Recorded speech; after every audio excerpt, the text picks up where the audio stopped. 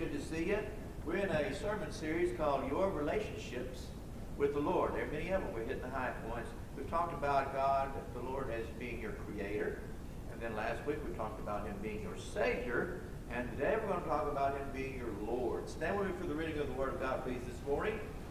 And we have several verses of different passages of Scripture. And uh, uh, well, I'm extra fond of this one, especially some of the others. First of all, Philippians chapter 2, verse number 5 says this Let this mind be in you, which was also in Christ Jesus, who being in the form of God, did not consider it robbery to be equal with God, but made himself of no reputation, taking the form of a bondservant, that means a slave, and coming in the likeness of men. Remember, born Mary, late in manger, grew up, and all these things, right? Verse number 8 Being found in fashion and in appearance as a man, he humbled himself and became obedient to the point of death, even the death of the what? Even the death of the cross. What's the first word? Verse number 9. Therefore, therefore, when you see the word therefore, look and see what it's there for. Because of what he just said about Jesus dying on the cross and all that he accomplished, because of that, therefore, God, his Father, also hath highly exalted him and given him the name which is above every name, that at the name of Jesus every knee should bow, of things in heaven, of things in earth, and things under the earth, and that every tongue should confess that Jesus Christ is what? Lord to the glory of God the Father. Let's pray. Lord, we love you. We thank you again for this blessed and beautiful day. Thank you for the kindness and mercy and the grace you show us, Lord, every single moment of our lives, Lord. Thank you for being our Savior. Thank you for being our Lord. Thank you, Lord, for uh, the chance to come together in this house at this time in your name. I ask that you fill me with your spirit to bring this message for your honor, for your glory. We love you, we thank you, we praise you. In the holy and mighty name of Jesus, our Lord, we pray. Everybody said? Amen. Amen. You may be seated. Jesus Christ is Lord. Amen? Uh, he is. The Bible says he is. He is Lord. Always has been, always will be. And when the Bible says that, that he is Lord, Lord, Lord the, the word Lord means ultimate authority.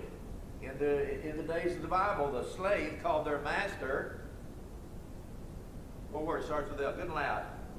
This is participatory, okay? Y'all have to help me out, all right? And in the Roman Empire, the citizens of the Roman Empire called the emperor. And the Christians, early Christians, got in trouble with him because they called Jesus Lord. We call him that today. He is the ultimate authority. He is the one in charge of everybody, including those others who are in charge. The ultimate authority is the Lord Jesus Christ. In the Old Testament, it's a capital, uh, capital L, capital O, capital R, capital D. Okay, we read the word Lord in the Old Testament. We know it's talking about God Almighty. In the New Testament, it's capital L, Lord, Lord with capital L, talking about the Lord Jesus Christ. Now God said in His Word here, He said, He said everybody is going to, every knee is going to bow, and every tongue is going to confess that Jesus Christ is Lord. Now, there is no question of whether or not He's Lord. He always is and always has been. Now, when, when the Bible tells us that Jesus created the heavens and the earth, when He made all things and when He created all these things, and He holds them together in existence, it means that also is the way that things are today. Because He is Lord, heaven exists today. Because He is Lord, earth exists today. Because he is Lord, hell exists today. Because he is Lord, the creator and sustainer of all things, you and I are in existence today. And we will be as long as he deems it to be that way. The angels are his creation, and they exist today because he is Lord. He is the ultimate authority over the very fact of the existence of all things. And then not only the, because uh, of his nature as God Almighty is he Lord, but he is doubly, doubly Lord because of his, of his work that he completed on the cross Calvary. Okay? The Lord Jesus Christ, He came to this earth, God in the flesh, came to this earth, and He lived the perfect life, and He went to the cross, and there He, he bore all the sins and all the burdens and all the, the anger and wrath of Almighty God. Everything unfit for God was laid on the Lord Jesus Christ and he died in every way imaginable physically, spiritually, emotionally, mentally, uh, in his relationships, in his holiness, in his position, in everything. He gave everything on the cross of Calvary. There is nothing that God Almighty owns that he did not sacrifice on that cross for the salvation of our soul. Amen? That's what the cross means. And so when God Almighty says, I see what my beloved Son has done on the cross of Calvary, therefore, because he has bled and suffered and died and shouldered these burdens and done all this magnificent work, therefore, because of that, he is doubly worthy to be called Lord because of his finished work. Therefore, God also has highly exalted him and given him a name which is above every name, that at the name of what? Of Jesus, every knee will bow and every tongue will confess that Jesus Christ is Lord to the glory of God the Father. Right? Now then, when the Lord comes back, riding that white horse, the end of the book, right? Book of Revelation. When he comes back, the Bible says that the armies of heaven will be with him, and we'll all come back with him. And it says his, his vestures dipped in blood, he's on a white horse, and the word of God, the, the sword of the Lord comes out of his mouth, and it also says then he has a name written across him. Does anybody know what that name is? King of and Lord of Lords. So he's doubly Lord, he's doubly King because of who he is, because of what he has accomplished. Now, when he comes back that second time, he's not coming as, a, as the meek, mild Lamb of God, the sacrifice, meek and humble. He won't ride into Jerusalem on a dinky donkey. He rides in there as a conquering king. And that's the Bible says his vestures dipped in blood because he is the he is the complete culmination of both Old Testament and New Testament and he's come back to destroy all of his enemies. And no one left on earth will ever have any question as to whether or not Jesus Christ is Lord, right? Everything in heaven and earth and under the earth will confess that he is Lord. Now, he is Lord, and there, there, there's no question about that. Because, again, nothing would even exist if it were not for the Lordship of the Lord Jesus Christ, holding all things into existence. However, you and I have been given the opportunity the blessing and the curse the responsibility of deciding, of choosing whether or not we will submit to the lordship, to the authority of Jesus Christ. No one can say Jesus isn't Lord. Well, they can say it, but it don't mean anything. Because when God says something is, it is. But anyone can say, I decide that I'm not going to obey the Lord. So when it comes in your relationships with God, because He is Lord over all, then you have two choices. You can either choose to serve Him, or you can choose to be in rebellion against the Lord. Are you with me? Okay. It's like it's it's like having a government. You say, I don't have a government. Yes, you do. Okay. I don't have a speed limit, right? But give that a try. See what happens. I do have a speed limit. My my job is to decide will I obey it or disobey it. I know I'm meddling. Okay? Well, that's the way the lordship of Jesus Christ is. It doesn't matter whether you want him to be Lord or you accept him as Lord or not. It matters whether or not you will serve him as Lord or whether you will be in rebellion against against him. Now, Jesus asked the question in the book of Luke. He asked him this. He said, why do you call me Lord, Lord, but you don't do the things that I say? How can you say I'm your Lord if you don't obey me? Because the test of lordship is obedience. Now, a long, long time ago, up in heaven, before right before God made the heavens and the earth, there was this mighty angel, and he was like the uh, guardian of God's holiness. And uh, um, uh, he's, sometimes he's called Lucifer, although the word Lucifer is not in the Bible, okay? But you know who I'm talking about, right? All right, this mighty angel, holy, glorious angel. And he decided that he wanted to be so much like God that he wanted to be ruling like God rules. And so he uh, instituted the uh, whole idea of rebellion. And he mistreated the other angels and he did all these wickedness and got in big trouble with God. And God held him accountable. And so he got kicked out of heaven. Now his name is Satan right? Which means adversary. He's the adversary of God. Because, because he said over in, uh, in Isaiah and in Ezekiel, he said this. He said, uh, I will ascend on the sides of the north. I will exalt myself. I will be like God. Okay? God's supposed to be Lord. You're supposed to serve him. But the servant decides he don't want to be the he don't want to serve the Lord. He wants to be Lord. Are you with me? Then he got kicked out of heaven. He ends up down in, in uh, Eden, and Adam and Eve, and they're eating the fruit because he tricked them and all these things. And, and so, because of that, that same rebellious nature that Adam received is passed down to everybody's kin to Adam. Anybody here kin to Adam? Anybody? Anybody? Three of us? Right? Every, four of us. All right. Everybody else came from what? Swamp weasels? No? Okay. We're all kin to Adam. We have all inherited that sinful nature. Okay? We are natural born rebels. Here's a, here's a short list. Everybody here who loves for somebody to tell them what to do all the time, raise your hand. Me either. All right? Every single one of us are still four years old saying, You're not the boss of me. In our hearts, we are, aren't we? Because I need somebody to tell me what to do from time to time, but I don't like it. Do you? I want to be the teller, not the tellee. I want to be the boss. I want to do the bossing, not get the bossing. Right? Right? By the way, some of y'all are really good at that, so it's boss away. But you see what the problem is here?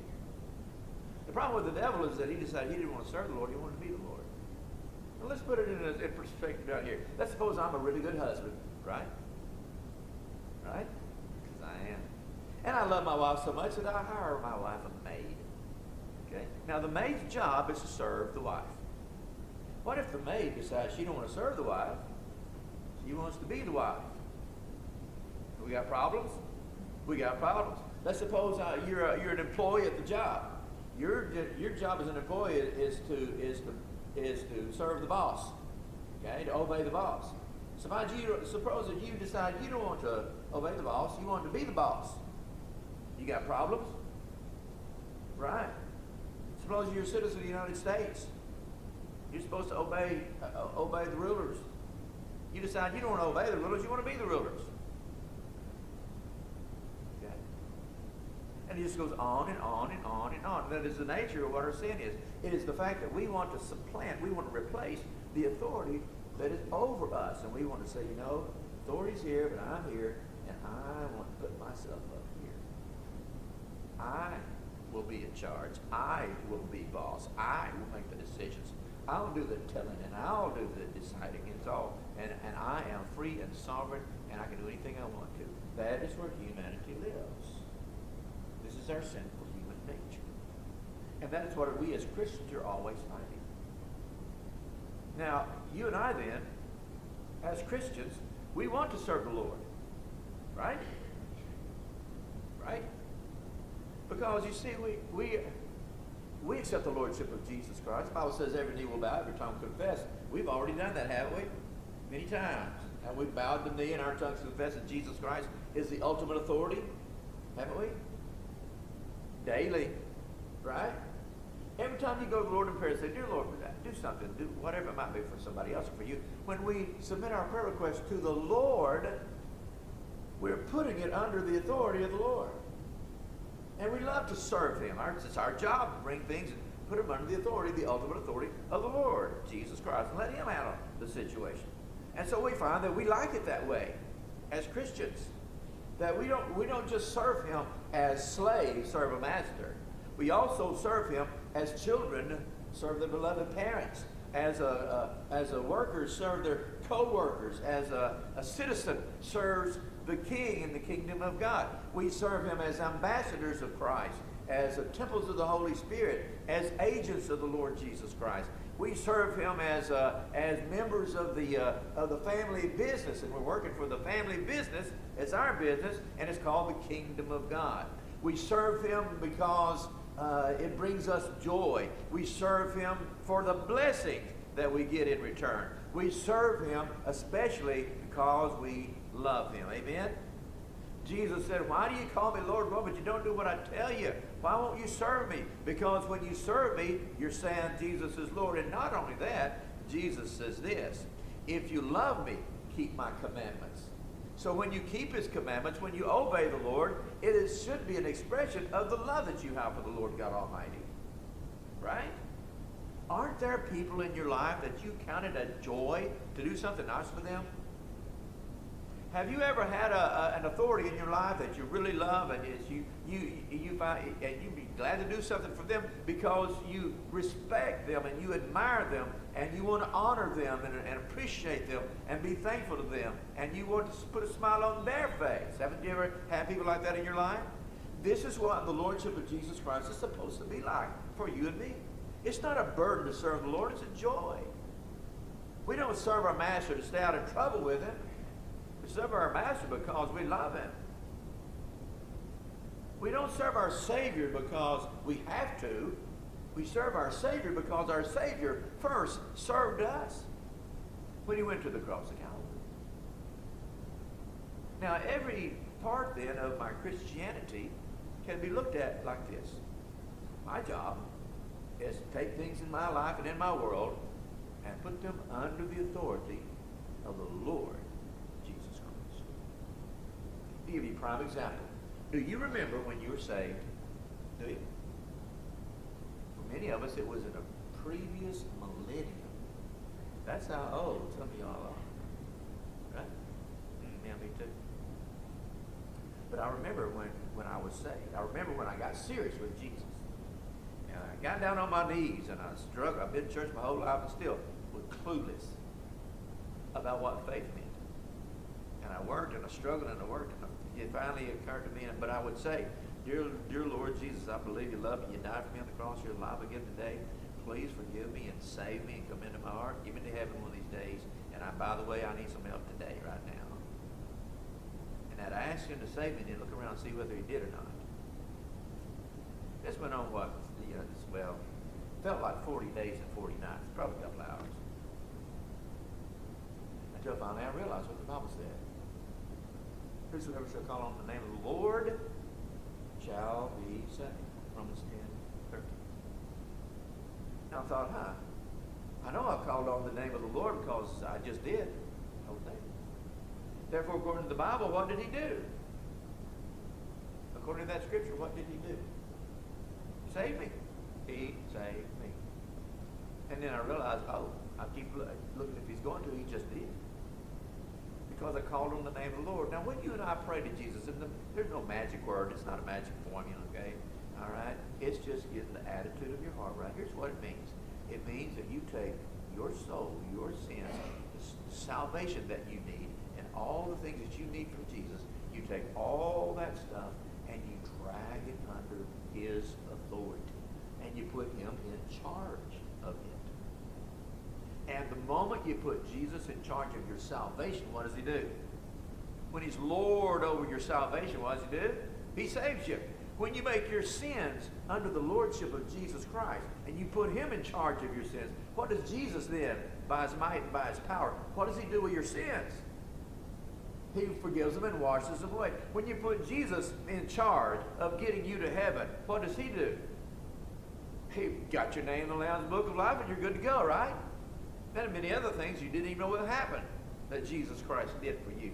But here is the, is the principle that we want to live by. Here is the lordship of Christ, and here's all this stuff that is in rebellion against him, and you take that and you put it under his authority. Now, this is why prayer works. You know what prayer means? I just told you a few minutes ago. Prayer means that you there's something that you need God to do, and you, can't do it by yourself. And it means you take that desire, that request, and you ask Jesus to do it. You put it under his authority. How many of you have ever had a prayer answered? Ever. Whole lot. How many of you ever, ever, ever had a prayer answered last week? Right? Or today? Absolutely. You know what you were doing? You were doing this very thing. You were making Jesus Lord over that, ultimate authority over that. You weren't trying to do it yourself or finding some professionals to do it. You say, I'm, I'm, I'm calling on the name of the Lord that saved my soul. It's going to save my, it's going to save my circumstances. It's going to save me while I drive up and down the road with all these crazy people. I need saved all the time, not just my eternal soul, but every part about me. And my job then as a Christian is to say, listen, I have got a marriage, 43-year-old marriage here, and I want it under the authority of the Lord Jesus Christ. I'll tell you, when me and Miss Evelyn, when we love each other and we love the Lord, and when we, when He is the head of our home and the head of our marriage, that we got no problems. We're happy as little campers. I got, I, I got, oh, what do I have? I got a granddaughter in college. Imagine that. That's that's just killing me. Off out in college somewhere. You know what we're doing? We're praying, dear Lord, all right, take care of her. We know this is just like, okay? You can be really, really smart and not at the same time, right? You know, it's not, it, it's not just the granddaughter, it's me. Because remember, my, my goal in life is to ever be as smart. I want to become as smart as I thought I was when I was 21. Okay? 21 years old, really into bulletproof. Until I realized I needed Jesus. Amen. And so I called on the name of the Lord and I was saved. Been a great ride since then.